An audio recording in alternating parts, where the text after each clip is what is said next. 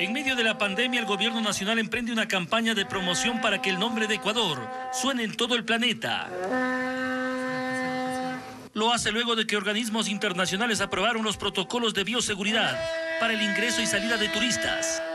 Hemos entregado también a la OEA para que esos, esos protocolos nuestros puedan ser homologados en la región, porque ya necesitamos por primera vez promocionarnos como destino Latinoamérica.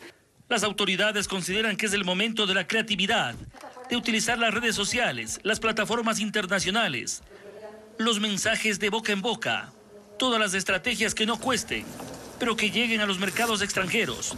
Manifiestan que no piensan gastar los millones que el gobierno anterior lo hizo en campañas similares. Nuestro país está en, crisis, no podemos, tenemos que ser muy inteligentes en lo poco que tenemos en utilizar.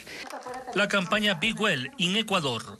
Me siento bien en Ecuador tiene como objetivo recuperar un sector turístico golpeado en las dos terminales internacionales que tiene el país. De las 16 aerolíneas que trabajaban, solo volvieron a operar nueve. Hacían cuatro vuelos al día, ahora solo dos, pero a la semana. Tenemos un 10% más de capacidad de la que había en el mes anterior, en el mes de septiembre. Como saben, la recuperación está siendo, está siendo lenta. El hecho de que empiezan a llegar los turistas. En septiembre ingresaron al país 14.000. 1.200 fueron a Galápagos. Algunos extranjeros lo hacen motivados por la biodiversidad, pero con cierto temor. Yo estoy viajando por un año en eh, todos los, en algunos países en Sudamérica. El panorama todavía está complicado, ¿no? Por eso usted me ve con mi mascarilla, con mi alcohol.